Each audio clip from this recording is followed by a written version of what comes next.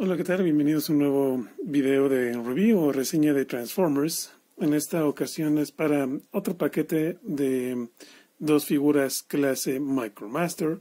En este caso se trata de Autobot Battle Patrol o la patrulla de batalla Autobot, Top Shot y Flak de War for Cybertron Siege. Y pues aquí los tenemos frente a nosotros en sus modos de vehículo. Em, nuevamente estos, al igual que el paquete que vimos anteriormente. Por lo menos en sus modos de vehículo ya aparecen más vehículos meramente terrestres. Todavía tienen un poco como de eh, detalle ficcionalizado como cibertroniano, pero estos ya son vehículos que podríamos ver aquí en la Tierra dentro de la ficción de Transformers, ¿no? O sea, ya transicionando a lo que vendría siendo Earthrise. Y pues sí, aquí tenemos este paquete de dos Autobots, vehículos militares, no tenemos aquí a Flak, que es una especie como de plataforma de misiles móvil. Y eh, Top Shot es una especie de, de pues sí, una torreta móvil, ¿no? Y pues sí, son modos vehículos bastante pequeños. Ruedan ambos sin ningún problema. O sea, estos, el Wii les sale chido. A diferencia de los que vimos anteriormente, que pues, apenas. Vamos a empezar a ver el detalle aquí de Flak. ¿No? Tenemos un modo de vehículo bastante bastante coherente en ambos casos, de hecho, pero más en FLAC. Aquí vemos que bueno, tiene estos puertos que son los misiles, los dos eh, misiles de en medio son puertos para estas piezas de efecto de batalla que vienen con estas líneas. Vemos aquí algunas aplicaciones de pintura en un color crema más o menos, bueno, y el mismo tono que tiene aquí este Top Shot, es que de cerca no se ve tanto por la iluminación, ahí se ve mejor esa aplicación de pintura.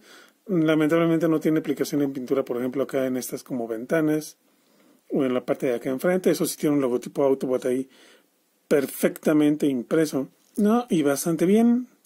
Incluso la parte de atrás no se ve tan mal, creo yo. Y por debajo, pues no es tan obvio como en otros casos que hay un vato ahí escondido. Se puede cambiar la elevación de esta torreta es realmente como la única función que cumple y ya está, ¿no? Top Shot es este, también torreta móvil. Eh, también bastante convincente. Digo, aquí sí se ve un poco más como que algunas de las partes de robot, especialmente por debajo, pues ahí está ese compa, ¿no? Aquí están sus brazos y su cabeza ahí, o sea, se ve también que la transformación no va a ser muy complicada, pero de este lado se ve bastante bien. Aquí sí las ventanas resaltadas en negro. Aquí un poco de pintura como de gris metálico oscuro para estas secciones como de armadura. También tiene su logotipo Autobot ahí muy bien eh, impreso, aunque bueno, ahorita con la luminosidad de, de esta pieza de la cámara no se distingue, distingue también, pero en persona se ve muy bien, sobre todo porque es incluso más pequeño que el de acá, ¿no? Entonces está bastante bien impreso. Puede mover la torreta, ¿eh? puede girar 360 grados, lo cual está bastante bien. Y también puede cambiar la elevación. ¿No? Aunque, bueno, su esquema de colores no me gusta mucho que digamos, realmente. Sobre todo cuando se combina con, con FLAC en modo de arma. Creo que de hecho estos dos son de todas las parejas de Micromasters que tengo, creo que estos dos hacen el mejor modo combinado de arma de todas estas figuras. Y se llevan de calle ese departamento. Em, y creo que vamos a empezar por ahí, porque de hecho es como que lo más sencillo. Entonces, lo que hacemos básicamente es nada más aquí en Top Shot, bajamos sus brazos. Como ahí más o menos. No, básicamente estas dos pestañas que tiene aquí saliendo de cada, de cada brazo tienen que sobresalir del resto del modo de vehículo. Y básicamente eso es todo lo que se hace con Top Shot. Eh, ah, bueno, y esta hay que... La torreta, el cañón de la torreta, perdón, hay que apuntarlo hacia arriba. Y eso es todo. Ahora con Flak, básicamente lo que hay que hacer es estirar, estirar sus piernas, o sea, los barriles de la torreta lanzamisiles. Esta parte de enfrente del vehículo hay que girarla hacia arriba, de esa forma, y bajar este poste de 5 milímetros que tiene ahí escondido. Y ahí está. Y después los unimos. Tiene aquí en su torreta eh, Top Shot un agujero de 5 milímetros al que conectamos el poste que sacamos de FLAC. Y estas eh, pestañas que les decía entran en unas ranuras que tiene ahí FLAC en sus brazos. Entonces alineamos eso. Y ahí está el modo de arma combinado que es un lanzamisiles, como pueden ver. Y les decía, creo que de todos los modos de arma combinados, creo que este es el mejor. O sea, es el que más uno puede agarrarlo y decir, ah, sí, por supuesto que ese es un lanzamisiles. El único, bueno, los únicos dos problemas que tengo es, les decía, el esquema de colores, o sea, este café de Top Shot, pues no combina nada con los colores verde y gris de este compa. O sea, tienen el color crema este para unificarlos un poco, pero ahí en fuera es nada, ¿no? Y el hecho de que pues ahí Top Shot está asomado, ¿no? Y bueno, obviamente se la podemos dar a un vato más grande, que va a ser nuevamente el Side Swipe negro, la versión clonada de nuestro rey de los deluxes. Y dependiendo de la figura en la que se le den, se, puede, se le pueden dar de dos formas, ya sea por arriba, de esta forma. Eh, sin embargo, aquí no solamente esta parte estorba un poco, sino que em, yo a veces prefiero ponérselo así por abajo como de esta forma pues porque también eso ayuda a ocultar la cabeza de este vato, ¿no? Entonces ahí tenemos una especie de lanzamisiles súper marrullero, ¿no? Y pueden también bajar este brazo con la otra arma y ya este compa está listo para asesinar a quien sea que se le ponga enfrente, ¿no? ¿no? Ahí lo vemos de lado cómo se ve. Les digo, creo que se ve bastante bien. De todos los modos de arma, creo que este es definitivamente el mejor, por mucho. Ahí lo tenemos. Gracias, Sideswipe. Y ahora para transformarlos en robots, pues hay que separarlos, obviamente. Ahí está. Y... Eh, ¿Y qué más? Pues básicamente nada más... Eh, Esto lo vamos a dejar así. Vamos a sacar su cabeza de ahí. Tiene aquí una como pestañita diminuta con lo que uno puede hacer palanca y sacar su cabeza. Los brazos pues ya separados, las piernas nomás es cuestión de separarlas.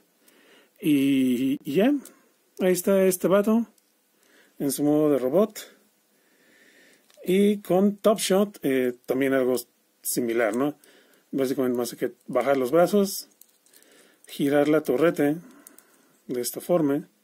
Eso va a permitir que estas piezas grises puedan girar hacia abajo y extender las rodillas.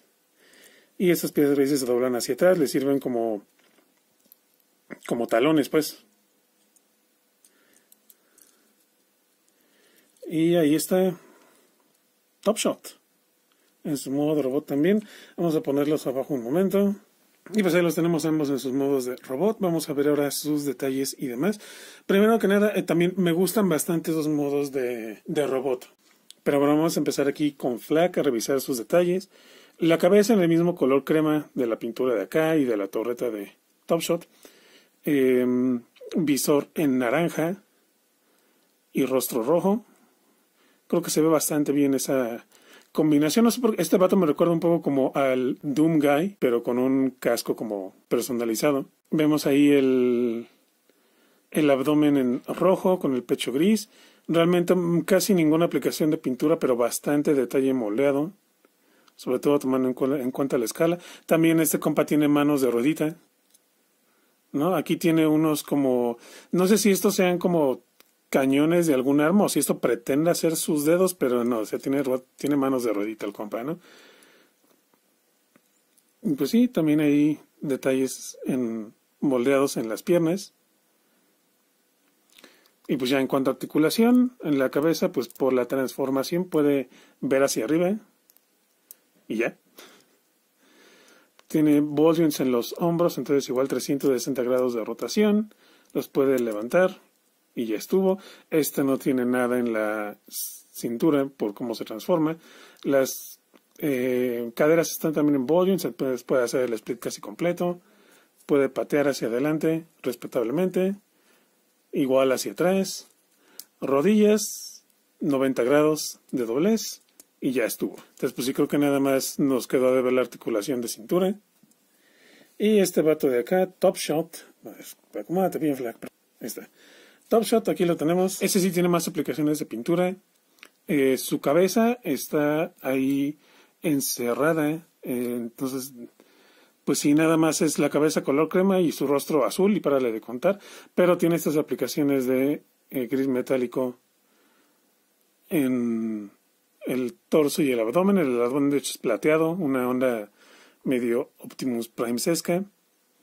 Un montón de detalle moldeado ahí en el pecho, ahí lo pueden ver más o menos, aunque sí este color brilla demasiado aquí en la cámara, pero pues sí se distingue a pesar de eso el detalle moldeado, ¿no? Entonces eso habla de la calidad y la profundidad de ese detalle.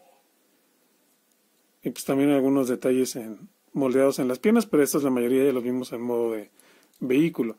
En cuanto a articulación, la cabeza tiene una rotación ahí, pero es muy difícil de acceder a ella por la forma en la que la cabeza está encerrada en esta cosa. Los brazos están también en ball en los hombros, entonces puede girar 360 grados, puede alzarlos y bajarlos por su transformación.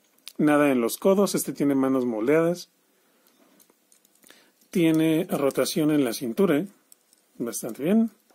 Las caderas están en ball joints, entonces igual puede hacer el split, patear hacia adelante, hacia atrás, rodilla. Este, si, si movemos el, el soporte del talón por la transformación, tiene rango completo de movimiento en la rodilla. Y pues nada en los pies, a lo que cuenta en esta bisagra que tienen los talones, ¿no? Y también en este modo, pues cómo se acomoda la torreta, podemos darle la vuelta y le queda como una especie de cañón dirigido hacia adelante y eso está bastante padre. No, y lo pueden dejar ahí permanentemente, también pueden simplemente enderezarlo y bajar la torreta, si no les gusta cómo se ve ahí. Entonces está bastante bien. Entonces, eh, pues sí, la verdad creo que les decía, estos son de mis favoritos de toda la línea de Micromasters. Estos sí, estos sí se los recomendaría por el precio de retail, que es 10 dólares, como 200 baros más o menos. Estos creo que sí valen la pena. De hecho, creo que de todos los que tengo son los únicos que, les diría sí valen la pena los 200 baros. Porque los tres modos están bastante bien, tanto los modos de vehículo como de arma como de robots.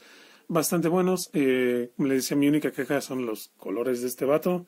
Para ahí fuera es un muy buen paquete, ¿no? Y también es refrescante por fin reseñar a un par de pequeños Autobots que hagan bien las cosas. Y pues sí, entonces la verdad se los recomiendo bastante. O sea, si los ven, llévenlos. Estos, eh, bueno, a diferencia de los otros que he revisado hasta ahorita, estos no sé qué tan eh, baratos estén ahorita. Pues lo más, lo más probable es que sí, ¿no? Que ya se los encuentren en menos de 200, probablemente poco más de 100. Entonces, si tal es el caso, pues sí se los recomiendo un montón.